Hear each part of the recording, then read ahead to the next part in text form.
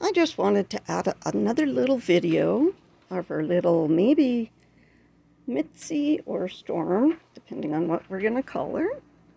I think Storm's pretty good. But Storm's a pretty good name. if she is a Pomeranian Papillon mix, she is between three, two and three weeks old. And would you stop focusing? Oh. And the puppy next to her is a long haired Chihuahua, and that puppy is eight weeks old.